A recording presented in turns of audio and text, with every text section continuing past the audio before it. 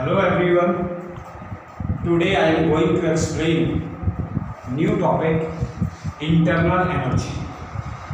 तो internal energy पे बात कर रहे हैं इंटरनल एनर्जी को हम जो है, इसका जो सिंबॉलिक रिप्रेजेंटेशन है, उसे हम कैपिटल यू से डिनोट करते हैं ये इंटरनल एनर्जी है और इसमें हम किससे डिनोट करते हैं कैपिटल यू कैपिटल यू से इंटरनल एनर्जी को हम डिनोट करते हैं और इसकी जो डेफिनेशन हम कहते हैं कि sum of all energy forms store in a system किसी भी सिस्टम में जब बहुत सारी एनर्जी स्टोर रहती है तो उनका सम वो कहलाता है आपका इंटरनल एनर्जी तो यही कहा जाता है sum of all energy different forms में जो भी एनर्जी स्टोर रहती है सिस्टम के अंदर, उनका सम वो क्या कहलाता है आपका इंटरनल एनर्जी इंटरनल एनर्जी का मीनिंग यही होता है कि जो different forms of energy store रहती है किसमें? सिस्टम के अंदर। उनका सम इंटरनल एनर्जी कहलाता है यू से से जोड़ है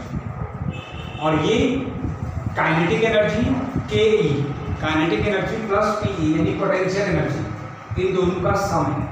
इन दोनों से मिलकर बनी है internal energy internal energy is the sum of kinetic energy and potential energy potential energy और काइनेटिक एनर्जी का ये सम है। काइनेटिक एनर्जी हम क्या देखते हैं कि काइनेटिक एनर्जी किन में होती है? तो काइनेटिक एनर्जी जो एराइजेस होती है due to the motion of the particles किसी भी जो पार्टिकल्स जो मोशन में होते हैं, उनमें काइनेटिक एनर्जी क्या होती है? फॉर्म होती है काइनेटिक एनर्जी होती है। फॉर एग्जांपल जैसे रोटेशनल एनर्जी हो गया वाइब्रेशनल एनर्जी हो गया ये सब क्या है? काइनेटिक एनर्जी के अंदर ही आते हैं मॉलिक्यूल्स को मूव करने के लिए जो एनर्जी रिक्वायर्ड होती है, उसे हम काइनेटिक एनर्जी कहते हैं। तो काइनेटिक एनर्जी का मीनिंग यही है कि जिनमें मॉलिक्यूल्स को मूव करने के लिए जो एनर्जी रिक्वायर्ड होती है, वही काइनेटिक एनर्जी होती है। और सेकंड जो होती है पोटेंशियल एनर्जी क्या होती है? पोटेंशियल एनर्जी हम उन्हें कहते हैं, ये कहाँ एराइज होती है? Energy arises uh, from different types of interaction between the particles and includes electronic energy, nuclear energy और ड्यू टू मॉलिकुलर इंटरेक्शन तो इन सब में जो है ये पोटेंशियल एनर्जी होती है यानी पी पोटेंशियल एनर्जी कहाँ अराइज होती है? तो पोटेंशियल एनर्जी वहाँ अराइज होती है जहाँ पर डिफरेंट टाइप्स ऑफ़ इंटरेक्शन होता है। किनके बीच में? पार्टिकल्स के बीच में। डिफरेंट टाइप्स ऑफ़ पार्टिकल के बीच में जो इंटरेक्शन होता है, उसमें जो एनर्जी क्या होती है? उसके लिए जो एनर्जी चाहिए, और इंटरेक्शन के लिए मॉलिकुलर इंटरेक्शन के लिए जो एनर्जी चाहिए, वो पोटेंशियल एनर्जी की कैटेगरीज में आती है। मॉलिकुलर इंटरेक्शन हो, या डिफरेंट टाइप्स ऑफ़ इंटरेक्शन हो पार्टिकल्स के बीच में, इन सब के बीच में जो एनर्जी हमें रिक्वायर्ड होती है, उसे हम पोटेंशियल एनर्जी कहते हैं। और इसमें पोटेंशियल एनर्जी कहाँ कहाँ आप देख सकते हैं? जैसे इलेक्ट्रॉनिक एनर्जी में पोटेंशियल एनर्जी होता है न्यूक्लियर एनर्जी में पोटेंशियल एनर्जी होता है। तो ये सब जो है पोटेंशियल एनर्जी की डेफिनेशन और उसका एग्जांपल है। ऊपर हमने काइनेटिक एनर्जी का बताया था। काइनेटिक एनर्जी मॉलिक्यूल्स को मूव करने के लिए जो एनर्जी रिक्वायर्ड होती है, वो काइनेटिक एनर्जी है। और kinetic energy plus potential energy equal to internal energy internal energy capital U से डिनोट होती है, इन दोनों का सम होता है। और इंटरनल एनर्जी को हम यही कह सकते हैं कि किसी भी सिस्टम के अंदर जब एनर्जी डिफरेंट फॉर्म्स में होती है, किसी भी सिस्टम के अंदर जब डिफरेंट फॉर्म्स में एनर्जी होती है तो उनका सम क्या कहलाता है? आपका इंटरनल एनर्जी अब इसके बाद हम इंटरनल एनर्जी चेंज पे बात करेंगे।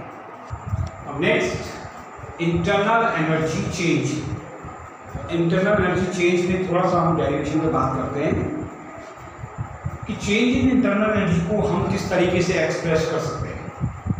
तो change in internal energy of a reaction may be considered as the difference between the internal energy of two states internal energy की दो स्टेट्स के बीच में जो डिफरेंस होता है, जो डिफरेंस है इंटरनल एनर्जी के जो जो डिफरेंट फॉर्म्स है, उनमें जो डिफरेंस होता है, उसे हम इंटरनल एनर्जी चेंज कहते हैं। इंटरनल एनर्जी चेंज का मीनिंग यही है कि जो इंटरनल एनर्जीज हैं, उनकी दो डिफरेंट फॉर्म्स हैं तो उनके बीच का जो डिफरेंस है, वो इंटरनल एनर्जी चेंज कहलाता है। अब हम यहाँ पे देखते हैं दो स्टेट हैं like U A and U B are the internal energy यहाँ पे हमने दो इंटरनल एनर्जी ली है, एक यू ए और दूसरा यू और इनके डिफरेंस इन दोनों के बीच में क्या है कि डेल्टा यू इक्वल टू क्योंकि किसी भी चेंज के लिए क्या आता है? डेल्टा का साइन आ जाता है। हमें चेंज इन इंटरनल एनर्जी को फाइंड करना है। तो चेंज इन इंटरनल एनर्जी क्या हो गया? डेल्टा यू ये चेंज इन इंटरनल एनर्जी को शो करना। है इक्वल टू क्या हो जाएगा? फाइनल माइनस इनिशियल यानी एक फाइनल क्या है? U B minus U A तो डेल्टा यू इक्वल टू क्या हो जाएगा? U B minus U A और इसी को हम क्या कह सकते हैं? Delta U equal to U P minus U R यानी यू ये प्रोडक्ट है और माइनस क्या है? रिएक्टेंट तो प्रोडक्ट माइनस रिएक्टेंट अब इसके आगे हम, अब ये देखते हैं कि अगर प्रोडक्ट इंक्रीज होगा, किससे? रिएक्टेंट से या रिएक्टेंट इंक्रीज होगा प्रोडक्ट से, तब क्या होगा? अब हम उसके आगे ये देखते हैं।